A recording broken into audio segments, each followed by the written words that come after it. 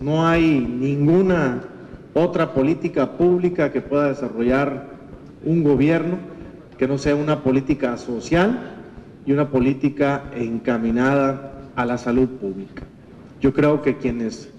nos hemos eh, dedicado a recorrer las colonias, recorrer eh, las comunidades y poder tener ese contacto ciudadano que a uno lo fortalece mucho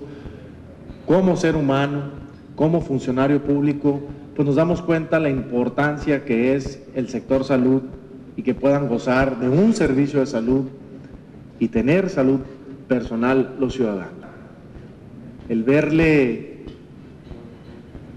a esa persona, a esa ama de casa, a ese padre de familia que pasa por un momento difícil, verle el rostro cuando se ve que hay respuesta de su gobierno para poder atender a su familia o a ellos en lo personal, pues esa, es un sentimiento muy gratificante. Termino convocándolos a todos a que sigamos trabajando juntos, a que sigamos construyendo ese México fuerte, en donde todos podamos vivir mejor.